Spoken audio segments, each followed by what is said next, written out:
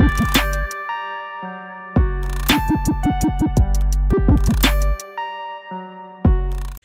what is up, everybody? It is your boy Slim, aka Mr. Different, back with another video. Today, we're gonna be looking at this sample type trap beat that I made. I'm just gonna go ahead and call it a Yung Lean X WondaGurl X Kendrick Lamar type of beat because a lot of you guys said that's what it sounded like, and I didn't know what to call it. So let's just go ahead and say it's a Yung Lean X WondaGurl type beat because it kind of sounds like that it has that nice, you know, ambient sound, sample type stuff, but then it has a hard drums and everything like that, but still kind of smooth and still got the trap feel to it with a little bit, you know, like I said, WondaGurl S and some Yung Lean type style to it. So, but yeah, so what I'm gonna do in this video is break down each individual part, show you guys how I made the beat, what I did to make the beat, and yeah, give you some tips and tricks to make better beats that you can use the techniques yourself. So I'm going to mute my mic and I'm gonna play you guys the beat so you guys can hear what it sounds like. So here we go. This is different. different.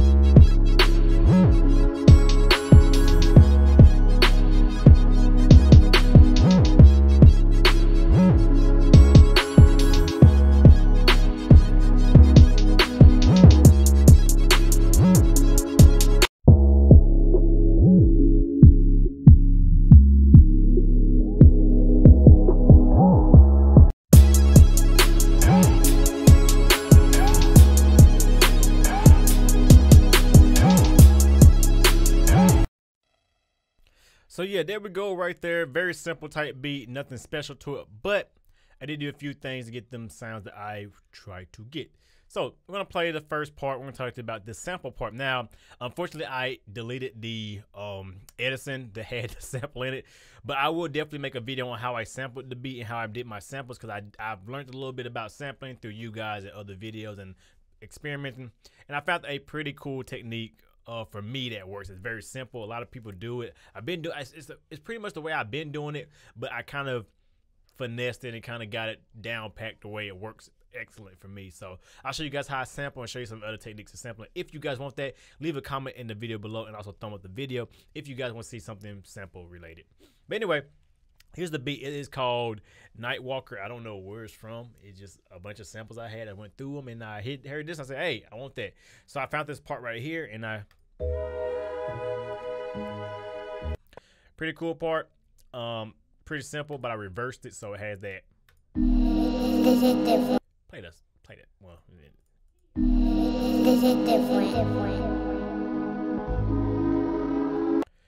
And I also changed the timing to four bars, and I brought the pitch down to negative 400 cents to kind of make it a little bit deeper because without it, it would sound a lot high pitch. And then I add some gross beats to it and use that one half speed, of course, because that just gives it more flavor. Without it, it just sounds kind of fast. This is different.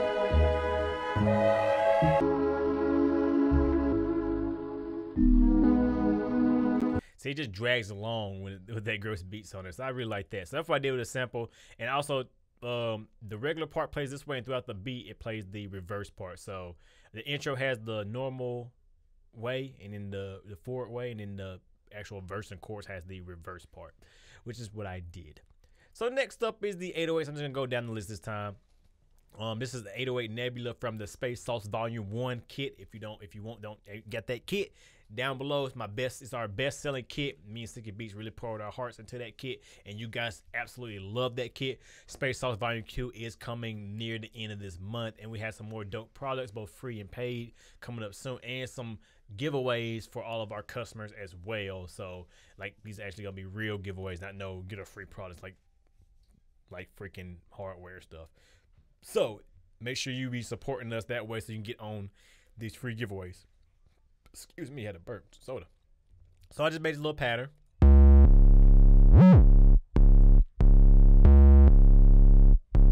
One thing I did differently than I normally do is I truncated it. So basically, that means like in certain parts of the beat, like when the snare hits, it has like a little pause. So it.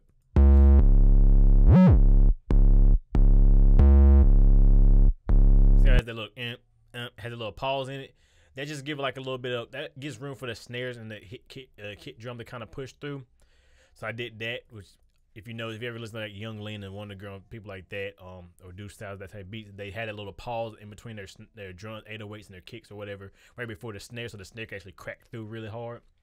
I added a decapitator to the 808, and like I said, I got it set to four drive with about 40% on the E setting, which is I think EMI if I'm not mistaken, and that just gives a little bit of grit to it. So without it, it sounds like this.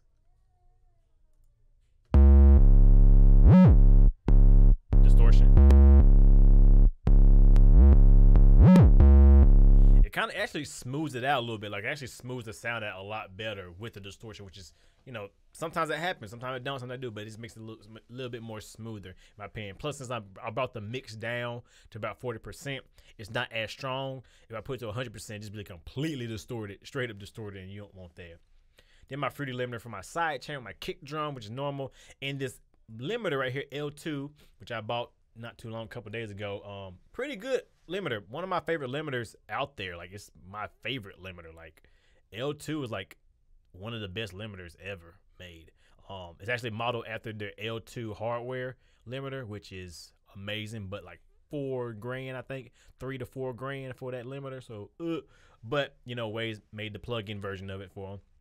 And I needed I needed this for volume pretty much to get a louder because my 808 is all the way up to the top as you see. But if I take the limiter off, it's super quiet.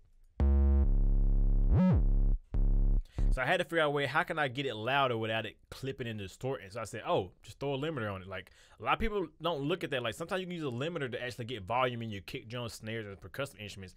Just throw a limiter. Yes, it's gonna cut the peaks off and limit the peaks, but you can still bring up the volume. Since it's an 808, distort distorting the 808 is not gonna hurt it. It's actually gonna make it, you know, somewhat enhance it a little bit. So once I add the limiter to it, you can actually hear how it gets louder and actually sits better in the mix.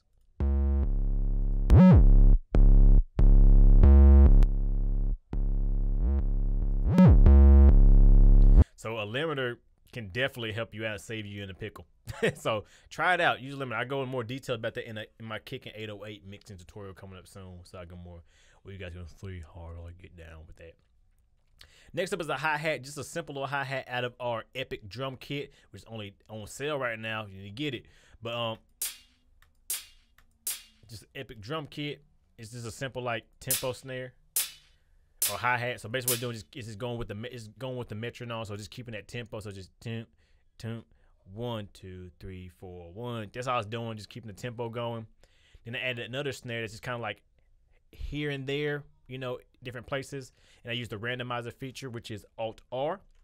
And you get the randomizer, and I randomize the pan as you can see. So it's just random, or you can do it yourself. It don't matter.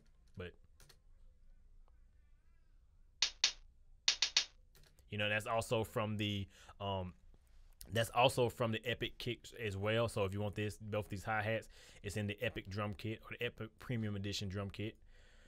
Um, and I think for both of them, I didn't do nothing but cut some highs. I didn't do nothing to the third one. I didn't do nothing to neither one of them actually. They're just plain Jane. Cause I mean they sounded good because they already been processed really heavily. And I said me and Sikky Beats, well Sikky mostly did the drums. He he he he killed the drums, man. I tell you, you know I did the presets, he did the drums, but he processed the fuck out of these things and made them sound amazing. Like his processing, the way he processes his stuff is amazing. So if you want that Sikky Beat sound, get the drum kits now because he, he he put a lot of work into his stuff. He he really takes pride in his stuff, and you know he wants to give you guys quality foremost than anything. And um, don't hit me up while I'm recording, whoever that was. But anyway, um, so that's that right there. Next up is the snares, which is two different snares layered together. Once again from the Epic Snares. So we have that one, and then we have this one, which is actually a trap snare I've, I've been had.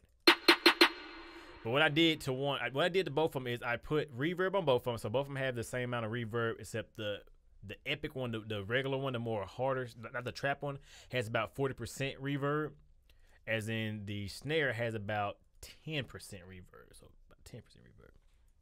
And what I did was I added more reverb to the lower one because I wanted I wanted the the main like the main reverb, which is the 808 one, to really stand out, had the crack and the the, the, the snap of the beat, so you can really hear it and catch it, and catch the beat and all that. But I wanted the regular snare to be more of a reverb a reverb snare. So that um snare right there is basically just giving the room, giving the space, giving the room noise and all that good mess right there. So that's what that snare is doing. And combined together, like I, I can blend them in to get a better thing. So if you want to put reverb on a snare, I, I suggest layering your snares and putting a lot of reverb on one snare and um putting a little bit on the other snare, on the main snare, and then kind of blend in the one with a lot of reverb. It just gives it more texture and more vibe. So together they sound like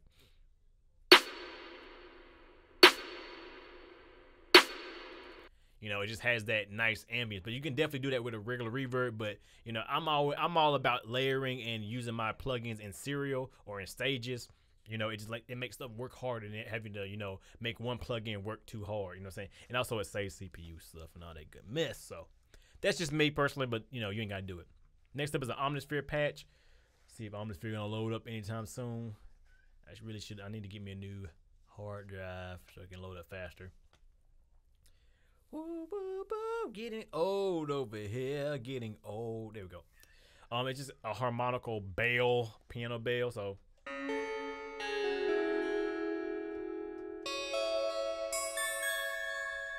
Pretty little bell sound, you know. You probably can get bell like this in Nexus too, whatever, you know what I'm saying. But that's all that is. That's just like a little ear tickle. So when it plays, it just it just plays every so often, like just randomly throughout the beat. That's like I said, the reason I did that because like I said in my arranging tutorial, which you need to check out, by the way, um, I mentioned you know every eight bars, do something a little bit different. Just do something a little bit different. Have fun with it. Just you know, experiment. Um, the reason I say do that because you know it just gives like a little bit of ear tickle. Like I said, like how how me and Sikky Beats be describing it. Like when you listen to the beat, it's that little uh, that little it, you know, to kind of just like you know, tickle your ear and kind of wakes you up. You know, make you go, oh, what was that? Okay, that's cool. You know, you ain't got to make it all crazy and do crazy drops and glitch effects and all that, like going crazy. That sometimes gets kind of annoying and unnecessary. But just a little bit here and there can definitely keep the interest of the listener, both the artist and the person who's buying the artist's song. So, you know, you can do that. Next up is a kick drum, which is my favorite kick drum to use. I love it.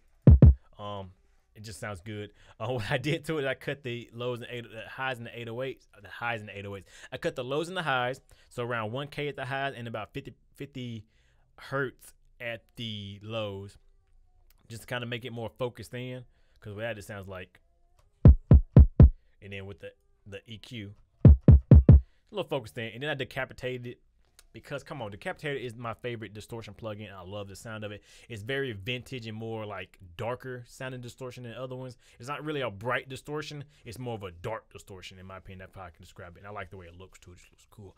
So I got it set up to the EMI setting. Got it set to seven on the drive and got it 50% mix. And that just gives a little bit of grit to the the kick drum. Um, I'm a fan of distorting my plugins, distorting my sounds.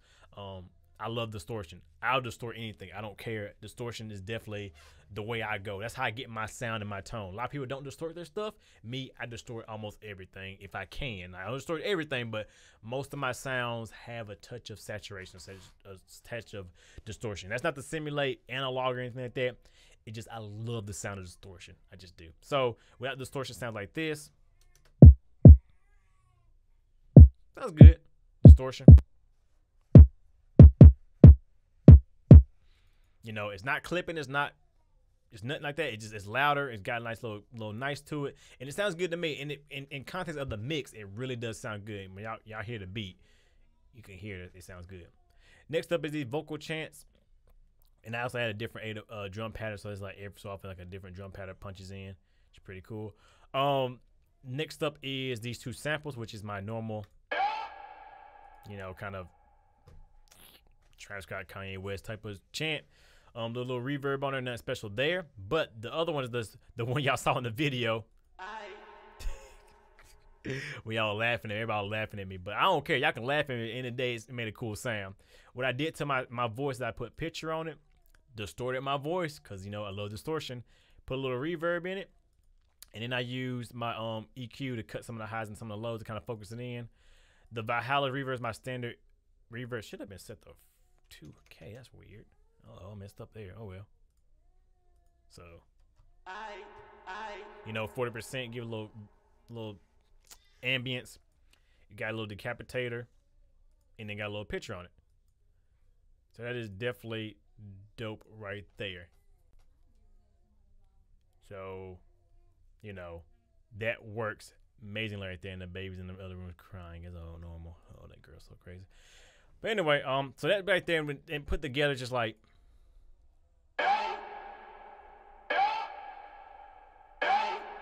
and I pan them both left and right to kind of get some separation between the two um, chants. You know, and like I said, it's just like I said, it's just a little, it's a little bit different here and there. It's nothing special. Um, not trying to go crazy with it. Just want to leave it, you know, to where it has that kind of vibe to it. I could have used the randomizer tool and randomized the the one I did. That might added a little bit interest, but I decided not to. But you can try that experiment. If you do layer two different chants, have one kind of being modulated all over the place, and have one just kind of centered or in one one space, and you add some interest to your beats. Trust me, I've done it before, and I think it will work in most of you guys' cases. Um, next up is this choir that you all you guys were always asking about. Everybody in the comments just spam. Well, the choir. What choir was that? What choir was that? Is the Omnisphere patch? I will show you the exact Omnisphere patch so you guys can get it yourself. Um, like I said, Omnisphere is definitely dope for making these type of sounds. Um, for choirs, Omnisphere is amazing. It's called Boy Choir E E E S Up. So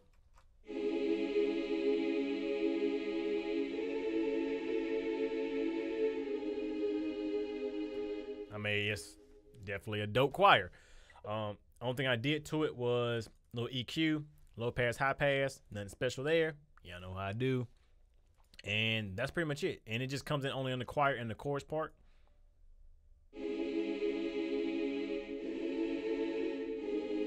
Just playing some standard C mi- C mi- C minor, C sharp minor chord. So nothing special there.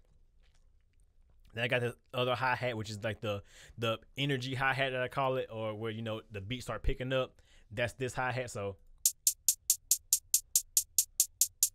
that's all that is with a little EQ, cutting some of the highs because I think it, had like a little too too much highs in it for me in my taste, and I cut like 2K all the way to 2K to low cut.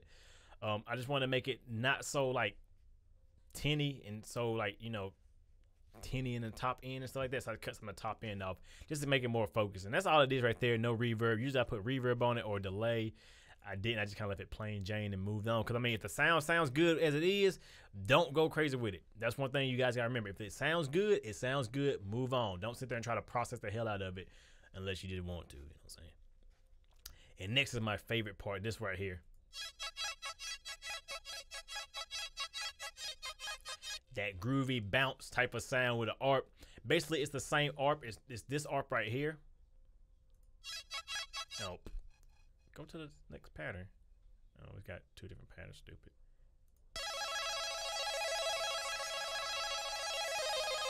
So that is the eerie patch from Serum, um, from Serum, the Space Sauce Volume One. That's in Space Sauce Volume One. That's what that is turned it into an ARP, as you see. Got the gate, got the timing over here, and got it going up and down. I think that's what it is.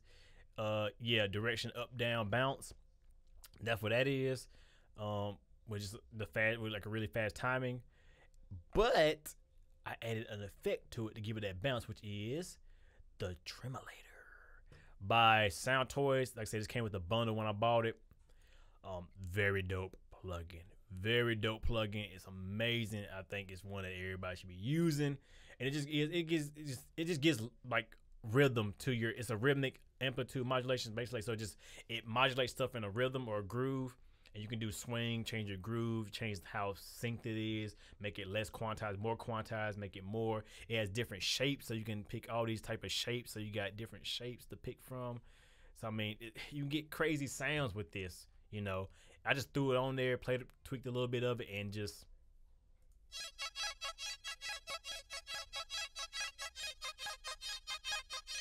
Sounds great. It sounds great, and it gives like a level of bounce to the beat too. And I add Love Philter and use the twinkle preset to make it move in between the stereo spaces because It just sounds like this.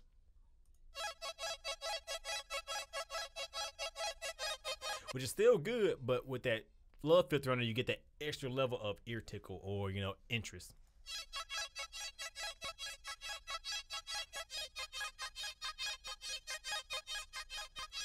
So that's pretty cool right there. Um, and that's pretty much it for that. And then the arrangement wise, if we go to the arrangement, I said I put a little gross beat uh, glitch too for my tape stop. Which I did make a tape stop video for you guys so you can watch that.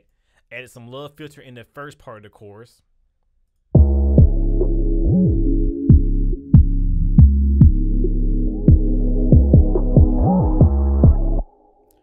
That is pretty cool right there. And that's pretty much it. I mean, very simple. Like I said, it got the little ear tickle right here. It goes hook, it goes intro, verse, hook. That's how it goes, and that's how I set it up. Like I said, you see, I add like little bit things here and there. Like one part in the middle of the beat, it actually breaks down somewhat. So that's kind of that's kind of interesting, kind of different. You know, something like that to kind of slow it down a little bit. And that's really it to it. Uh, I will show you guys the master chain because a lot of you guys ask, can I show my master chain for these beats? Um, I actually have nothing on the master except the pan the panamulator, whatever it's called. Basically, what this is is basically that's pretty cool. That shows you on the back how it's linked up. Um, to check my mono, check, make sure it's in mono, which I made a video about checking your mix in mono. So definitely look up that. So I was stepping back from the microphone, by the way. Um, the limiter right here is just used for the K scale, which I did find a free K scale for you guys. I'm gonna make a video on teaching you guys how to do that. And my SonarWorks Reference 3 headphone plugin, which is basically, oh man, I love this plugin. I love these. Pl- I love this plugin. I love these people at SonarWorks. Um, I will make a video about this plugin, but this is a plugin that I absolutely love, and I will definitely tell you guys why I love it in a future video. But just know I use this for every mix. I use this to mix with every time, and it gives me a great mix every freaking time. Every time. Plus with the K scale. But then I got everything routed to my mix bus, which had all my mastering plugins. So first off, I got my FG Gray, which is a bus compressor from Slate Digital. It's modeling a SSL bus compressor, so just a little bit of SSL bus compression, um, which you guys can do. Like I said, but I'm making a full video on how to mix and master.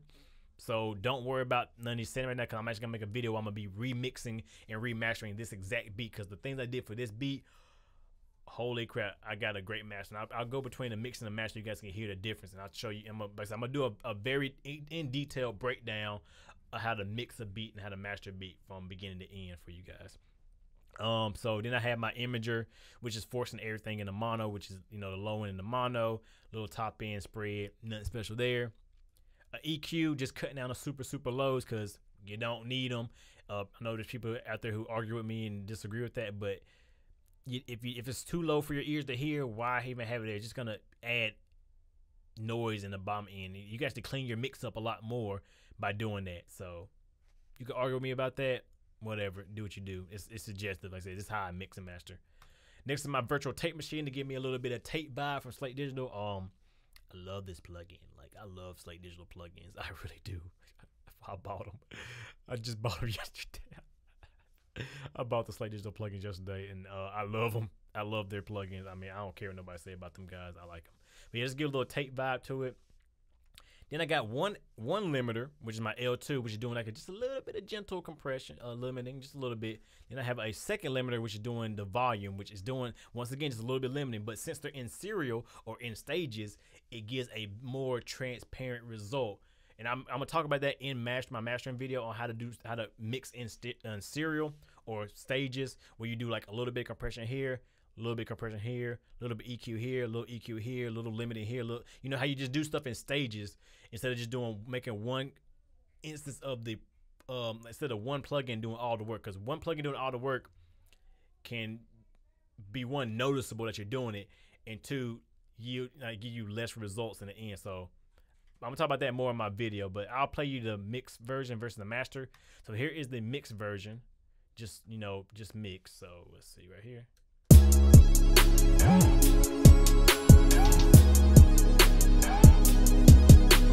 Comes the master version.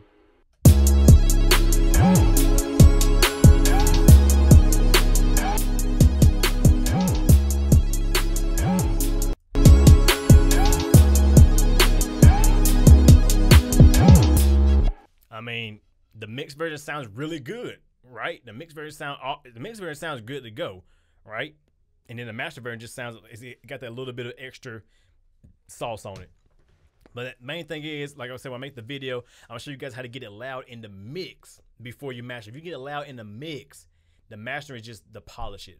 Now, for people think that mastering is make it louder in mastering, hell no. You make it loud in your mix and you clean it up in mastering. That's what mastering engineers do. They don't they don't do too much. They do like little. They do like one dB here, two dB here, one point five dB here. That's what they do when they're mastering. A real master engineer will do like very little, but then they, they can you know, but they have hardware to get volume. But main thing is if you can make it loud in the mix, the mastering is nothing. Like the mastering is just, just to polish up, clean up, and give like a little bit more volume to make it competitive, and that's all it is. So, but I'm making a full video on how to mix and master a beat completely. So it's coming, like I said, later this week, probably around Friday-ish, Saturday, Friday. So be on lookout for that later this week. But yeah, there it is right there. There's the beat. I'm gonna be uploading the full beat so you guys can listen to the full beat as well as this. Um, so yeah, there it is. Hope you guys enjoy it. Like always, you know who it is. Your boy Slim, aka Mr. Different. Not motivated by the money, but like count views. And if you guys got any requests that you want me to do or anything, like I said, mixing wise, beat wise, uh, any type of tutorials you want me to try and make, any type of producer artist, I definitely accommodate you guys. You just got to leave it in the comment. Let me know. I got a long list that I'm going through as fast as I can, but I'm only one person. But I will definitely do you guys the best I possibly can. So with that being said, hope you guys enjoyed this video like always, and I will see you guys in the next one.